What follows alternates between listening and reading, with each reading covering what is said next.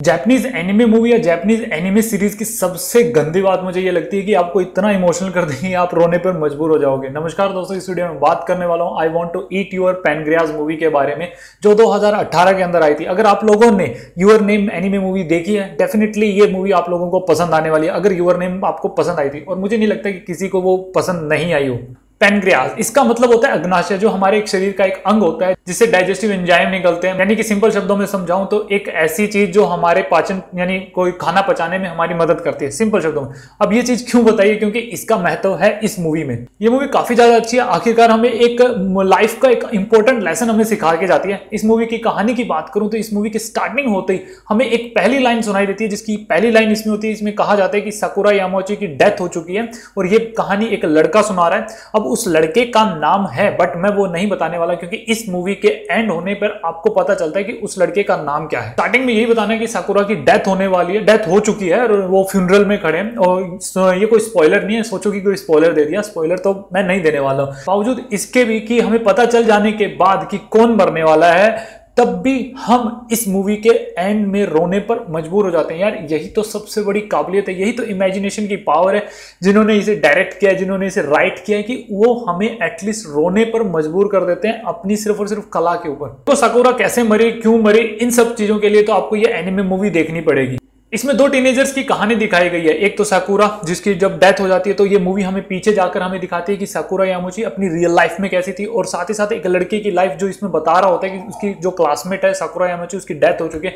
उसे एक इस एनिमे मूवी के अंदर बहुत ज़्यादा एक बोरिंग सा जो किताबों के अंदर रहता है, ऐसा दिखाया गया स्टार्टिंग के अंदर। साकुरा यामुची की एक बीमारी होती है पैनग्रियाज के अंदर, और जिससे उसके कुछ एक टाइम बाद डेथ होने वाली है। डोंट वरी इससे आपका कोई इंटरेस्ट खराब नहीं होने वाला कि सोचो कि मैंने रीजन बता दिया। रीजन कुछ और है, जब आप मूवी देखोगी, तब आप लोगों को पता चलेगा। तो सकुरा अपनी लाइफ की हर एक बात अपनी एक डायरी में लिखती है और ये डायरी इस लड़के के हाथ में लग जाती है। और सकुरा की बीमारी के बारे में जो उसके माता पिता को पता और इस लड़के को पता है, क्योंकि सकुरा ने अपनी लाइफ जो है ये नहीं बता रखा कि मेरे, मुझे कोई बीमारी अपने, अपनी किसी भी बेस्ट फ्रेंड को, क्योंकि वो किसी की सहानुभूति के ऊपर नहीं जीना चाहती। और जब ये लड़का, जब ये बोरिंग लड़का इसके बारे में जानता है, इसकी बीमारी के बारे में जानता है तो मैं सच कहूँ जब इसने रिएक्शन दिए इसको जैसे कोई फ़र्क ही नहीं पड़ा।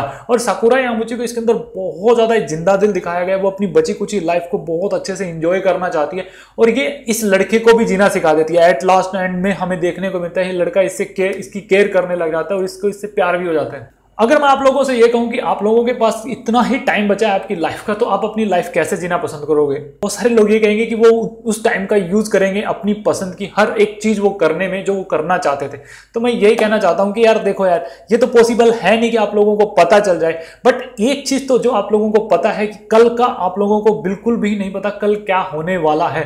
यानी आपको तो अपनी लाइफ का आने वाला कल नहीं पता, फिर भी आप लोग अपने हर एक ज़रूरी काम को आने वाले कल के ऊपर टाल देते हो। उसको ये पता है कि उसके पास अपनी लाइफ का कितना टाइम बचा हुआ और जिसको ये भी नहीं पता कि उसके पास अपनी टाइम अपनी लाइफ का कितना टाइम है आ, मेरी नज़रों में तो मैं यही कहूँगा कि ये दोनों ही इंसान एक समान है। क्योंकि यार इन दोनों को आने वाला कल भी नहीं पता क्योंकि कल पता नहीं क्या हो जाए। देखो मैं ये नहीं कह रहा कि कल आने वाला कल बहुत ज़्यादा खराब होगा मुझे नहीं पता कुछ भी हो सकता है बट मैं किसी की बुरी के होने की कामना नहीं करता हूँ।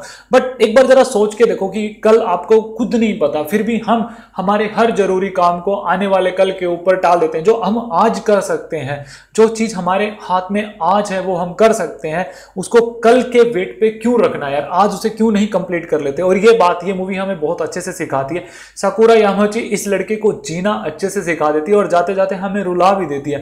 यार, मैंने कहा ना जैपनीज एनिमे मूवी की सबसे खराब बात मुझे ये लगती है कि वो हमें एक करेक्टर से बहुत ज़्यादा कनेक्ट कर देती है और फिर उसको वो मार देती है, जिससे यार मेरे ऊपर तो सच में बहुत ज़्यादा असर पड़ता है। और इसलिए मैं एनिमे मूवीज़ को बहुत कम मतलब कि देखना तो बहुत ज़्यादा पसंद करता हूँ, लेकिन एक या दो दिन बाद छोड़कर मतलब थोड़ा सा उससे बाहर निकल पाऊँ, उसकी कहानी से बाहर निकल पाऊँ, ऐसे हालात में मुझे पहुँचा देते हैं। मेरी तरफ़ से इस मूवी को मैं देना चाहूँगा eight out of ten star अगर किसी ने ये मूवी देख रखी है तो प्लीज़ बताना कि आप लोगों को ये मूवी कैसी लगी। अगर नहीं देखी तो आप चाहते हो कुछ एक ऐसा अपनी लाइफ में कुछ लेसन सीखना तो ये मूवी जाकर ज़रूर देखो। बहुत कुछ इसमें आपको सीखने को मिलेगा। एनिमे सीरीज़ या एनिमे मूवी की सबसे अच्छी बात ये होती है कि ये हर एक एनिमे मूवी या सीरीज़ के साथ हमें कुछ ना कुछ हमारी लाइफ की इंपॉर्टेंस हमें बताते हैं। बहुत अच्छी चीज़ लगती है मुझे, क्योंकि भारत की अगर मैं मूवीज़ या सीरीज़ के बारे में बात करूँ, जिसमें एक पर्टिकुलर एजेंडा चलता है, जो मैं सच में यार मुझे देखते वक्त भी डर लगता है कि यार इसके अंदर कुछ और चीज़ मत दिखा दो यार, इसमें जात पात मत दिखाओ, इसके अंदर तुम यार रिलीजियन मत दिखाओ, तुम ओनली एंटरटेनमेंट दिखाओ, ऐसी एक्सपेक्टेशन तो भारत की मूवी या सीरीज़ से आज की डेट में करना ही बेकार है। तो बस आज के लिए इतना ही इस वीडियो में। Thanks for watching this video मिलते हैं नेक्स्ट वीडियो में। जय हिंद।